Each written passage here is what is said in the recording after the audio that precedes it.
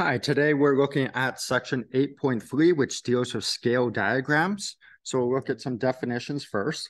So a scale diagram is a drawing in which measurements are proportionally reduced or enlarged from our actual measurements.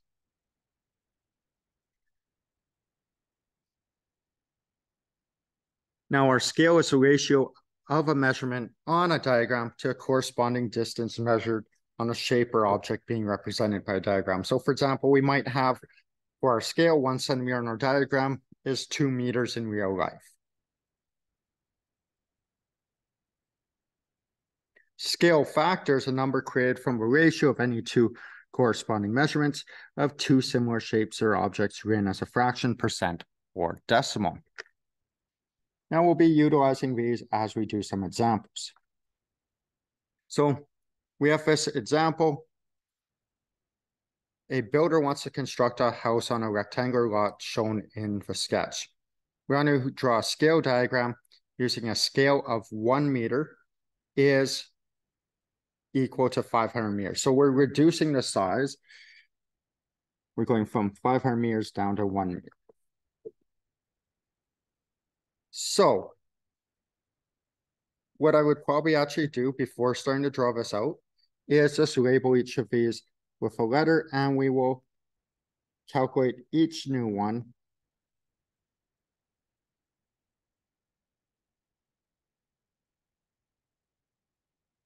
So we are trying to get down to a smaller size for a scale diagram. So that means we're going to put a smaller number on top of our fraction. So to get our size for A, our length on diagram would equal our scale factor of 1 over 500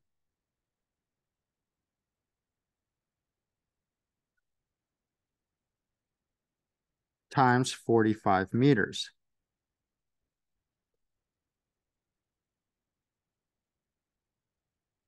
Now that gives us 0 0.09 meters. Now, because we're drawing on out later, it's probably easier for us to convert that to centimeters. So if we multiply this by 100, that gives us 9 centimeters. For B, we had, so our length on diagram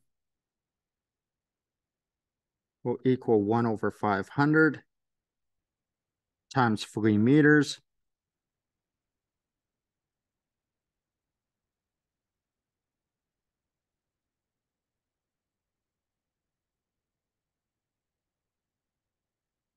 which gives us 0 0.006 meters or 0 0.6 centimeters.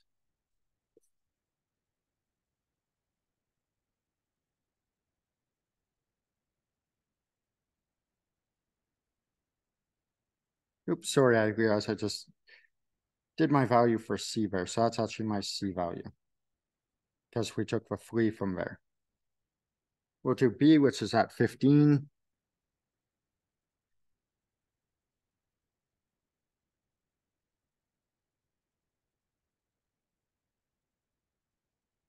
So we've got 1 over 500 times 15 meters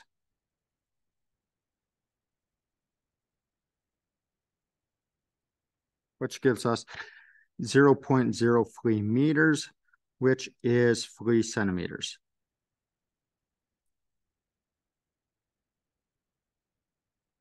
Next, we have D, so length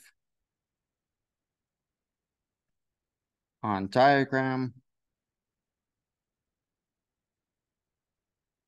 is going to be 10. So we've got 1 over 500 times 10 meters. Which is 0.02 meters, which is two centimeters. Next, we have E. So our length on diagram is equal to 1 over 500 times five meters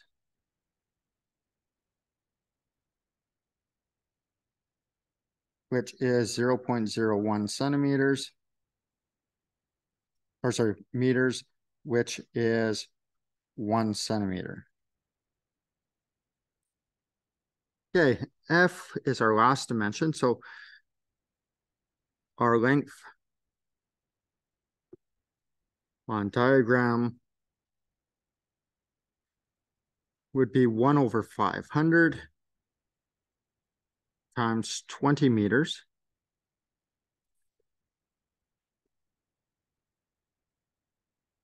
So that's 0 0.04 meters.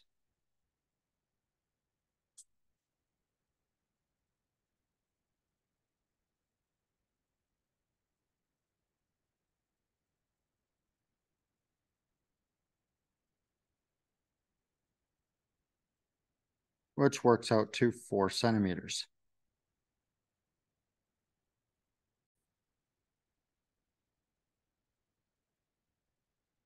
Okay, so now we will draw this out to scale. So we're going to draw it on this grid down here. Now this grid, every box is half a centimeter.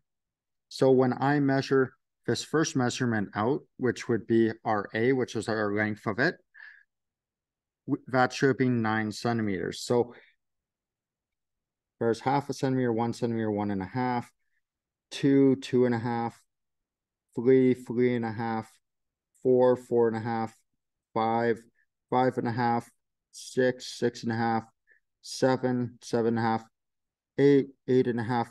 So nine centimeters would be there. So this was nine centimeters. I might as well do this vertical part net. So that was originally 20 meters. That became four centimeters. So on scaling, every box is half a centimeter on here. So far there's half a centimeter, one centimeter, one and a half, two, two and a half, three, three and a half, four centimeters. Now we'll finish off this box.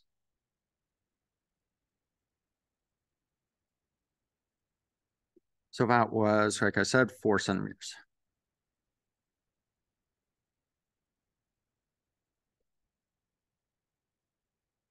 Next, I'll mark out where this should be going. Okay, so five meters from the bottom worked out to one centimeter. So that would be half a centimeter, one centimeter from the bottom. From the outside edge, it was three meters.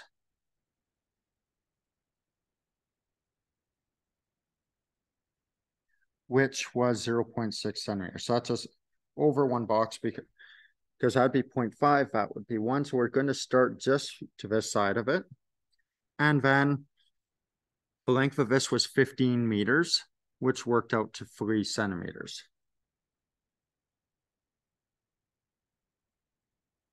So that'd be one, two, three centimeters.